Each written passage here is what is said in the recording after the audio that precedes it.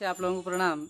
हमारा शरीर के अंदर फैट बढ़े तो बड़े बड़े तो बहुत बैठने का मन नहीं लगता उठ के उठने का मन नहीं लगता चलने का मन नहीं होता बे- आराम से सुस्ती सुस्ती बे बेहोश आदमी कैसा रहता वैसा होता एनर्जी नहीं रहता आदमी स्ट्रांग नहीं रहता।